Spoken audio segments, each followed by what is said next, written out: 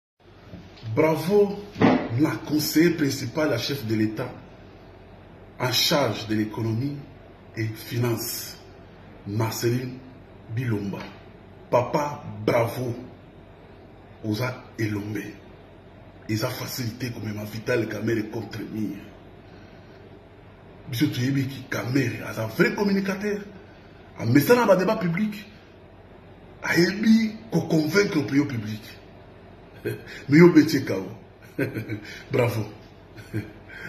guerre ya vitali kamere na marceline bilomba ebandi na tribunal te ebandi na likambo ya 15 million dollar oyo bacompagnie pétrolier bafuta l'état congolais 15 pourcent moto akendaki kodecouvrir ke vital kamere apesaki mitindo bafungola compte ya sika compte moko privé na Royal Bank to ba compte moko ekoni mpo ezalaki officiel te bakamata 15 millions de dollars oyo ezalaki na compte ya comité de suivi des compagnies pétrolières batransfere yango na compte privé oyo inconi afungolaki moto akendaki kodecouvrir eza marceline bilomba te asukaki wana te akikuta na inspecteur général alobi soupçon de tourment ya 15 millions 15 millions na compte ya comité de suivi de compagnie pétrolière mbongo wana eza te il faut tosala bankete urgent mais vital kamere akoyeba te bankete osala yango bango osala bankete wana vital kamere ayebaki te superviseur ya bankete wana ezalaki marceli bilomba Vital Kamerhe baye kotimbisa ye na bato ya Royal Bank babi ah toyambi ekipe moko ya inspection awa ah Kamerhe accompagne mbango asali lettre asuspendre bankete wana alobi koma bino bokosala bankete sabo informe directeur ya cabinet chef de l'etat astopa bankete wana azalaki na raison mpo ye nde azalaki chef omoni esika guerre ebanda ya vital kamere na marceline bilomba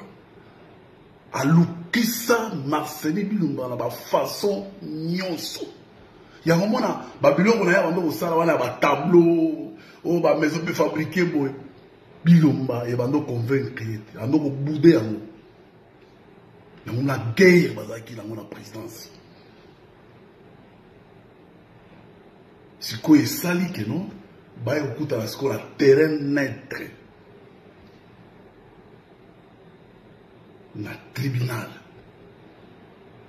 marceli bilombo ayebaki kino na kosala confrontation na kamere kamere ce n'est pas importe qui hein? e vital kamere mpe ayebaki kino akosala confrontation na témoin marceli bilomba yango mona baquestion wana baorientation wana oyo baavocat ezali vital kamere apesaki bango malgré wana bakestion marceline bilomba elombe mobali abomi bango tu so boremarke bavoka bakomi kosilika kamera amoni ke match etikali 10 minute esila abi awa alati botini abi nakota stade kamera ayebaki ke no Marceli Bilomba aza makasi na ekonomi, amemi esiko na terrain ya politiki. Abukubwakeli ba misili ah, ekonomi na yo tanga wapi?